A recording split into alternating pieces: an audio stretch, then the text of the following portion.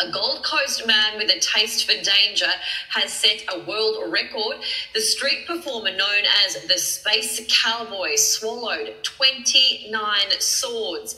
His feat beat the old record held by a German artist. years, but I finally did it. Uh, broke the record, brought it back to Australia.